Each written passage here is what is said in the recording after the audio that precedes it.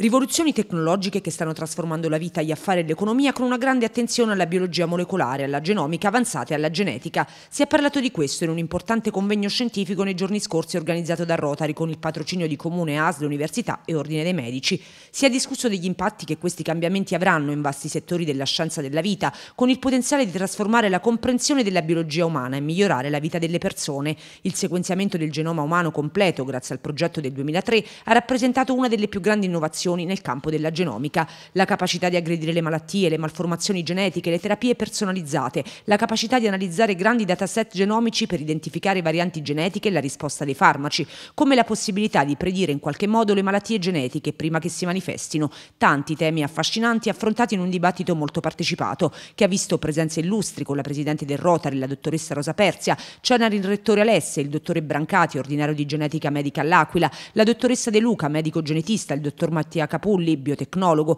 la dottoressa Masciovecchio, medico legale, il primario di oncologia Mutti e medici Papola, Salpietro e Scimitarra.